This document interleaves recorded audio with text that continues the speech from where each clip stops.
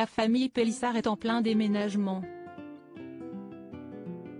Vendredi 16 juin 2023, ils se sont installés dans la nouvelle et chic maison de style Dubaï.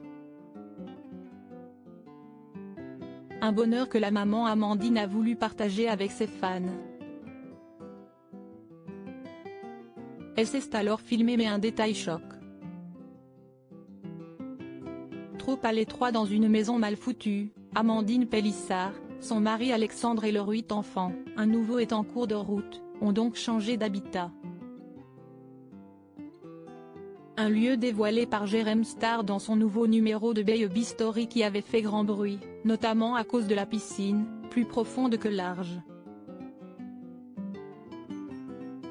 Vendredi 16 juin 2023, tout ce petit monde s'est installé et le soir venu, épuisé, Amandine Pélissard a décidé de partager avec ses abonnés des images de son jardin et de sa déjà célèbre piscine qui est dotée d'un sacré accessoire, elle s'illumine de différentes couleurs. Une piscine by night comme elle dit. Enfin. Si son mari surnommé Chateby arrive à faire fonctionner les lumières, pourquoi elle clignote pas Châteby Fais-moi clignoter le bordel, lance-t-elle, exigeante. Vient alors le spectacle, cette dernière s'illumine en bleu, vert, violet, rouge et alterne même toutes les couleurs de façon rapide. On va faire des soirées disco, lance la maman enthousiaste. Des images qui risquent encore de leur attirer des critiques étant donné l'utilité relative de ce gadget.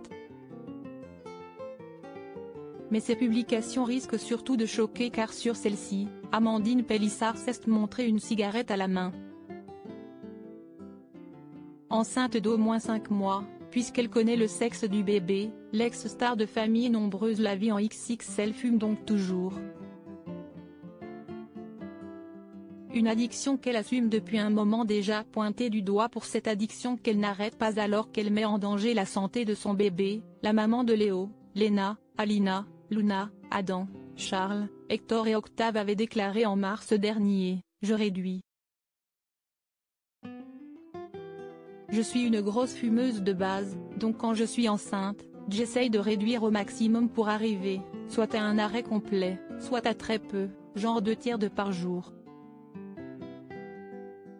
Une pratique validée par sa sage-femme, elle m'a toujours dit, il vaut mieux en fumer deux tiers de par jour et ne pas être à 24 de tension que de se stresser parce que tu es en manque de nicotine et en manque de clope. J'ai essayé d'arrêter avec plein de trucs, après si est vrai que si est compliqué. En mars, elle avait réduit à 7-8 cigarettes par jour. Et aujourd'hui Fumer en étant enceinte augmente les risques de fausses couches, d'accouchement prématuré ou de faible poids du bébé à la naissance. L'enfant peut aussi devenir dépendant à la nicotine. Une addiction à ne pas prendre à la légère donc, surtout lorsque l'on est enceinte.